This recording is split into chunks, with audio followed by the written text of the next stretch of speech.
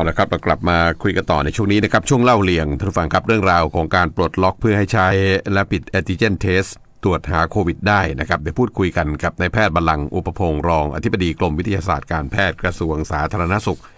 ในช่วงเล่าเลียงนะครับ วันนี้รายการ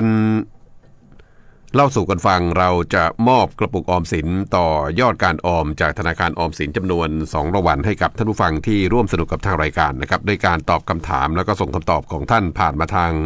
ช่องทางใดช่องทางหนึ่งก็ได้นะครับช่องทางแรกเป็น SMS พิมพ์ข้อความแล้วก็ส่งมาที่หมายเลข 4221075 นะครับ 4221075 ส่วนอีกช่องทางหนึ่งคือ Facebook Live นะครับ เข้าไปที่เพจ เล่าสู่กันฟังก็ได้นะครับ เดี๋ยวเราจะใช้ระบบการสุ่มจากคอมพิวเตอร์เพื่อ คัดเลือกรายชื่อผู้โชคดี วันนี้ 2 ท่าน2รางวัลเท่านั้นนะครับ ส่วนจะเป็นใครเดี๋ยวทางรายการจะติดต่อกลับไปเองนะครับ นอกจากนี้ครับทางรายการได้เพิ่มช่องทางการรับชมย้อนหลังนะครับ ผ่านทาง YouTube พิมพ์คำว่าเล่าสู่กันฟัง และสำหรับท่านผู้ชม Facebook ที่กดไลค์กดแชร์รายการในแต่ละเดือนนะครับ เดี๋ยวทางรายการจะใช้ระบบการสุ่มคัดเลือกผู้โชคดีเดือนละหนึ่งท่าน เพื่อมอบของขวัญพิเศษให้กับท่านด้วยนะครับมาถึงช่วงของกิจกรรมครับให้ข้อมูลกับท่านผู้ฟังก่อน ข้อมูลมีอยู่ว่าธนาคารออมสินนะครับได้เปิดให้ลงทะเบียนขอสินเชื่อในโครงการสินเชื่ออิ่มใจทางเว็บไซต์ของธนาคารออมสินนะครับ www.gsb.or.th โดยสามารถตรวจสอบผลการพิจารณาคุณสมบัติเบื้องต้นได้ หลังจากที่ลงทะเบียนไปแล้วภายในเวลา 5 วันทำการนะครับ นี่เป็นข้อมูลทวนอีกครั้งนะครับ ธนาคารออมสินครับได้เปิดให้ลงทะเบียนขอสินเชื่อ ในโครงการสินเชื่ออิ่มใจทางเว็บไซต์ของธนาคารออมสินนะครับ www.gsb.or.th โดยสามารถตรวจสอบผลการพิจารณาคุณสมบัติเบื้องต้นได้หลังจากที่ลงทะเบียนไปแล้วภายในเวลา 5 วันทำการ นี่เป็นข้อมูลนะครับ ส่วนคำถามครับ ถามท่านผู้ฟังว่าธนาคารออมสินนะครับได้เปิดให้ลงทะเบียนขอสินเชื่อในโครงการสินเชื่ออิ่มใจทางเว็บไซต์ ของธนาคารออมสิน www.gsb.or.th ซึ่งสามารถที่จะตรวจสอบผลการพิจารณาคุณสมบัติเบื้องต้นได้ หลังจากที่ลงทะเบียนไปแล้ว ภายในเวลาไม่เกินกี่วัน ส่งคำตอบมานะครับ SMS 4221075 Facebook Live เข้าไปที่เพจเล่าสู่กันฟังนะครับ มาถึงช่วงข่าวประชาสัมพันธ์ครับ ธนาคารออมสินได้ปรับปรุงหลักเกณฑ์โครงการสินเชื่อ SME มีที่มีเงินเพื่อให้ครอบคลุมผู้ประกอบการ SME ในประเภทธุรกิจอื่นที่ได้รับผลกระทบโดยตรงจากการระบาดของโควิด -19 นะครับอย่างเช่นกลุ่มธุรกิจร้านอาหารและเครื่องดื่ม กลุ่มธุรกิจโรงเรียนเอกชน กลุ่มธุรกิจค้าส่งค้าปลีก กลุ่มธุรกิจบันเทิง กลุ่มธุรกิจการเดินทางและการขนส่ง กลุ่มธุรกิจสปา และนวดแผนไทยเป็นต้นนะครับ และนอกจากนี้ครับยังได้มีการขยายระยะเวลาการ ขอสินเชื่อออกไปจนถึงวันที่ 30 ธันวาคม 2564 นี้นะครับ และยังมีการผ่อนปลนเกณฑ์ ในการพิจารณาให้สินเชื่อ โดยจะไม่มีการตรวจประวัติเครดิต และไม่วิเคราะห์รายได้ปัจจุบันนะครับจากเหตุที่กิจการของท่านเนี่ยอาจจะกำลังได้รับผลกระทบจากการแพร่ระบาดดังกล่าว นอกจากนี้นะครับยังมีโครงการสินเชื่อดอกเบี้ยต่ำออมสินช่วยเหลือ SME ในภาคการท่องเที่ยวสำหรับผู้ประกอบการท่องเที่ยวและธุรกิจที่เกี่ยวเนื่องนะครับโดยการปรับ หลักเกณฑ์ในการพิจารณาใหม่เช่นกันนะครับ ประการที่ 1 คือเกณฑ์การขยายระยะเวลาการชำระคืนสินเชื่อจากเดิมไม่เกิน 5 ปี เป็นไม่เกิน 7 ปีนะครับเกณฑ์ที่ 2 คือการขยายระยะเวลาการปลอดชำระเงินต้นจาก 1 ปีเป็น 2 ปี รวมถึงการขยายระยะเวลาการขอสินเชื่อออกไปจนถึง 30 ธันวาคม 2564 ด้วยเช่นกันนะครับสามารถที่จะติดต่อขอสินเชื่อได้ที่เว็บไซต์ของธนาคารออมสินนะครับ www.gsb.or.th หรือติดต่อโดยตรงที่ศูนย์สินเชื่อธุรกิจ SME ธนาคารออมสิน ซึ่งมีอยู่ 82 แห่งทั่วประเทศนะครับ ตั้งแต่บัดนี้เป็นต้นไป สอบถามข้อมูลเพิ่มเติมได้ทาง GSB Contact Center หมายเลขโทรศัพท์ 1115 และทาง Facebook แพนเพจนะครับเข้าไปที่ GSB Society ก็ได้นะครับ การทางพิเศษแห่งประเทศไทยกระทรวงคมนาคมครับ ได้ส่งมอบอาหารกล่องแทนความห่วงใยทานให้อร่อยจำนวน 700 กล่อง พร้อมกับขนม 400 กล่อง รวมไปถึงน้ำดื่มจำนวน 2,000 ขวดนะครับให้กับศูนย์ฉีดวัคซีนกลางบางซื่อเพื่อแทนความห่วงใยและคำขอบคุณตลอดจนเป็นกำลังใจให้แก่บุคลากรทางการแพทย์ และเจ้าหน้าที่หน่วยงานในสังกัดกระทรวงคมนาคม ตลอดจนจิตอาสาจากหน่วยงานต่างๆ ทั้งภาครัฐ และภาคเอกชนนะครับที่ได้ให้บริการฉีดวัคซีนแก่ประชาชนด้วยนะครับ ธนาคารออมสินครับขอเชิญชวนผู้มีจิตศรัทธานะครับ ร่วมบูชา พระผงพระรูปเหมือนสมเด็จพระสังฆราช สกลมหาสังฆปรินายกนะครับเนื่องในวาระครบรอบ 150 ปี วัดราชบพิตรสถิตมหาสีมาราม และมงคลการที่เจ้าประคุณ สมเด็จพระอริยะวงศาคตยาน สมเด็จพระสังฆราชสกลมหาสังฆปรินายก จะทรงเจริญพระชนมายุครบ 96 พรรษา โดยการจัดสร้างครั้งนี้ จัดสร้างทั้งหมดจำนวน 1 ล้านองค์นะครับบรรจุในกล่องพิมพ์พระรูปวาด 1 ชุดจะมีจำนวน 4 องค์นะครับบริจาคชุดละ 796 บาท หรือว่าบูชาองค์ละ 199 บาท เพื่อร่วมสมทบทุนในการก่อสร้างสยามสถานปฏิบัติธรรมสมเด็จพระสังฆราช ติดต่อได้ที่ธนาคารออมสินทุกสาขานะครับตั้งแต่วันนี้เป็นต้นไปจนถึงวันที่ 30 ธันวาคม 2564 นะครับเอาละครับ ช่วงนี้เป็นช่วงเล่าเรียงครับ เรื่องของการปลดล็อกให้สามารถใช้และปิดแอนติเจนเทส พื่อตรวจหาเชื้อโควิดนะครับเป็นอย่างไรพูดคุยกับนายแพทย์บาลังอุปพงศ์รองอธิบดีกรมวิทยาศาสตร์การแพทย์นะครับตอนนี้อยู่ในสายแล้วสวัสดีครับคุณหมอครับครับสวัสดีครับครับครับต้องเริ่มทำความเข้าใจก่อนไหมครับคุณหมอว่าทำไมถึงได้มีการปลดล็อกให้ใช้ได้เนี่ยคุณหมอฮะครับขออนุญาตเรียนยินนะครับว่าตัวของ rapid antigen test นะครับ จริงๆ ไม่อยากให้สับสนกับ rapid test antibody ท่านกระทรวงก็พยายามจะเดี๋ยวงงใช้ให้ให้นิยามว่าเป็น antigen test kit ท่านบอกว่า จะง่ายกว่าอ่าครับครับครับครับผม ทีนี้หลักการนะฮะการตรวจเชื้อซาโควี2หรือโควิด -19 เนี่ยนะครับ มันก็มีวิธีหลักที่เราทราบกันดีอยู่แล้วครับคือ real time rt pcr ที่ไปแยงจมูกอะนะใช่ครับครับนี่ถามว่านอกจาก real time rt pcr แล้วมันมีอะไรอีกบ้างอืมตอบว่าหนึ่งในนั้นก็คือ antigen test อ่าครับ อ่า ถัดมาก็จะเป็นเทคนิคที่เราเรียกว่า LAMP แลมส์อีกอันหนึ่งอ่าเทคนิคที่เราเรียกว่า CRISPR ครับนะฮะซึ่งหลักการพวกเนี้ย ตัวของ real time rt pcr ตัวของ LAMP ตัวของ CRISPR เนี่ยเป็นเทคนิคที่เราเรียกว่า molecular ครับคือตรวจหา RNA ของไวรัส อ่าครับ แต่ antigen test เนี่ยเป็นการตรวจหาโปรตีนที่เปลือก โปรตีนอ๋อใช่ครับ ใช่ครับ เพราะฉะนั้นมันก็เลยมีความจำเพาะกับความไวแตกต่างกันฮ่าฮ่าฮ่าอ่าแต่ข้อดีข้อเสียมันก็มีความยากความง่ายแตกต่างกันอ่าครับนะในเรียนเป็นอย่างนี้ไว้ก่อนครับผม ครับต่อเลยฮะต่อเลยฮะคุณหมอฮะ ครับ ทีนี้ถามว่าตัว antigen test เนี่ยมันมีมานานหรือยังก็ตอบว่ามีมาระยะหนึ่งแล้วอืมเพียงครับแต่ที่ผ่านมาเนี่ยนะครับสถานการณ์ในบ้านเราเนี่ยมันยังไม่วิกฤตขนาดนั้นเนื่องจากปัจจุบันเนี่ยนะครับ หลักในการตรวจ real-time RT-PCR เนี่ยกรมวิทย์การแพทย์ได้ขยายเครือข่ายไปทั่วประเทศ 336 แห่ง แล้วก็มีทุกจังหวัด ทุกเขตทั้งภาครัฐ เอกชนรวมถึงคลินิกแลบเอกชนด้วย ศักยภาพในการตรวจแลบต่อวันของเราเนี่ยนะครับครับหนึ่งแสนตัวอย่างต่อวันหนึ่งแสนนะฮะอืมใช่ครับ ปัจจุบันเนี่ยนะฮะขนาดสถานการณ์ค่อนข้างที่จะน่ากลัวทุกวันนี้เนี่ย ยังแตะประมาณแปดหมื่นเทสต่อวันครับ อ่า ถามว่ายังไม่เกินศักยภาพไหมตอบว่ายังยังได้อยู่แต่ที่อืมปัญหาใหญ่ครับปัญหาใหญ่ที่ทุกท่านทราบในช่วงสองสัปดาห์ที่ผ่านมาคือ มีการรอคิวการตรวจมากมายครับ นะฮะมีการตระเวนไปหลายที่เพื่อตรวจ แต่ไม่ได้รับการตรวจ อ่าครับ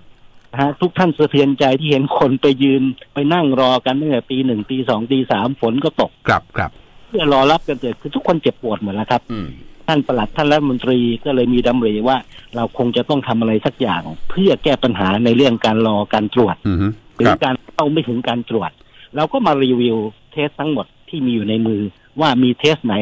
ที่พอจะมีความแม่นยำใกล้เคียงกันครับหรือเชื่อถือได้ที่สามารถใช้ในการแก้ปัญหาการเข้าถึง ไม่ต้องตะเวนหลายที่นั่นคือโจทย์ที่หนึ่งนะ มาโรงพยาบาลหรือมาโรงพยาบาลเอกชน ไปคลินิกแลบตรวจได้เลยไม่ต้องตะเวนอีกสี่ห้าที่ครับโจทย์ที่สองดีที่สุดก็คือถ้ากรณีที่มีการระบาดค่อนข้างเยอะอืมสถานการณ์บวกสิบถึงยี่สิบเปอร์เซ็นต่อวันเนี่ย เป็นไปได้หรือไม่ให้เขาตรวจเอง เขาจะต้องไม่ต้อง move ออกมาจากบ้านโอ้ถูกไหมนึกออกฮะนึกออกเหมือนเหมือนตัวตั้งครรภ์นะนะฮะคุณหมอที่สุดเลยอ่าลดความเสี่ยงครับนะฮะเพราะฉะนั้นเมื่อมีสองโจทย์กรมวิทยาศาสตร์การแพทย์กรมควบคุมโรคกรมการแพทย์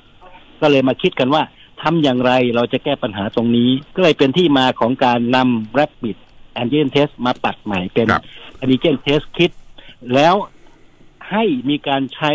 เป็นโปรโตคอลในสถานพยาบาลของรัฐเอกชนฮะผู้ง่ายคือคลินิกทุกอย่างอ่าสถานพยาบาลของรัฐเอกชนใช้ได้ มีโปรโตคอลว่าบวกแล้วไปทางไหนอ๋อลบแล้วอ่านะฮะก็คือให้ทุกคน accept ในครับการตรวจและอ่า antigen test kit ถัดมาเจรจากับองค์การอ่าครับเรียกสำนักงานคณะกรรมการอาหารและยาอ๋ออยเพื่อปรับครับเพื่อปรับ antigen test kit จากเดิมที่เป็น professional use ครับก็คือใช้ในอ่า ทำบริการของรัฐเอกชนเท่านั้น เป็น Home Use หรือ Personal Use อืมซึ่งตอนเนี้ยเมื่อวานท่านรัฐมนตรีอนุทิน ท่านลงนามในประกาศเรียบร้อยครับนะครับ ต่อไปก็คงจะมีผู้นำเข้ามาจดแจ้งเพื่อขอประเมินเป็น Home Use Personal Use มากขึ้นอ๋อนะฮะที่ถามว่าเกณฑ์ในการผ่านการประเมินคืออะไรครับเราจะมีอยู่สองคำความไว ความจำเพาะไวและจำนะเพาะครับอืเกณมฑ์ที่ใช่ครับ เกณฑ์ที่ออยกำหนดกำหนดภายใต้กฎเกณฑ์ของคณะกรรมการเครื่องมือแพทย์ ที่จะมีผู้เชี่ยวชาญทั้งจากภาครัฐและเอกชน รวมถึงศาสตราจารย์จากมหาวิทยาลัยต่างๆจำนวนมากมายครับและสภาเทคนิคการแพทย์นะครับ เข้ามาร่วมพิจารณาเกณฑ์กันกำหนดไว้ว่าต้องมีความไว 90%ขึ้นไปครับความจำเพาะต้อง 90%ขึ้นไปครับและจะต้องไม่มี cross reactivity กับไวรัสตัวอื่นอืมนั่นหมายความว่าไวรัสอื่นจะต้องไม่ positive กับ antigen test kit นะครับ นั่นครัก็บคือครับข้อกำหนดนะปัจจุบันเนี่ยที่เราเริ่มการให้จดทะเบียนเป็น professional use เนี่ยนะครับ มีผ่านการประเมินแล้ว 25 ยี่ห้อ เอ้ย24 ยี่ห้อนะฮะ24 ยี่ห้อของ antigen test kit ในปัจจุบันนะครับครับแต่เป็น professional use เมื่อวานท่านรัฐมนตรีลงนาม personal use หรือ home use 24 ยี่ห้อเนี่ยจะได้เปรียบตรงที่ว่าเขาผ่านการประเมินเรียบร้อย เขาไปปรับแพคเกจจิ้งมีคำแนะนำตามกำหนด ของอย. นะครับ แยกเป็น single test หรือจะห้า test สิบ test ตามข้อกำหนด ก็สามารถที่จะจำหน่ายเป็น personal use ได้ครับถามว่าสถานที่จำหน่ายมีตรงไหนบ้าง ที่ผมทราบเนี่ยนะครับ ก็จะเป็นสถานบริการของรัฐเอกชนโรงพยาบาลรัฐเอกชนนะครับ คลินิกแลบต่างๆ ร้านขายยารวมไปถึงร้านสะดวกซื้อด้วยนะครับ อันนี้เบื้องต้นอืมก็เรียนครับผมอ่าครับเพราะฉะนั้นถ้าถ้าเราจะเริ่มต้นยังไง เราต้องสงสัยก่อนตัวเองก่อนไหมครับคุณหมอมันจะมีอาการอะไรที่ที่ต้องต้องควรจะ ควรจะต้องไปใช้แล้วอะฮะครับ โดยหลักๆ จะมีอยู่สองกลุ่มหลัก ๆ เลยนะครับครับหนึ่งก็คือมีอาการ มีอาการมันคือต้องมีอืมไข้มีไข้ มีไข้มีอาการเหมือนโรคหวัดนะฮะครับครับตงครับๆครับ แล้วก็อาการที่ยิ่งจำเพาะมากขึ้นก็คือเหนื่อยหอบ เหนื่อยหอบ อืมข้อที่สองใช่นะครับอีกอันหนึ่งก็คือ